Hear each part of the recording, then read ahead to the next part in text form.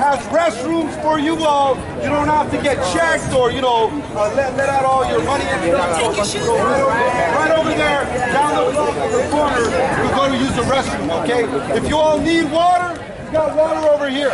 Okay, thank you. Come back. Uh, yes.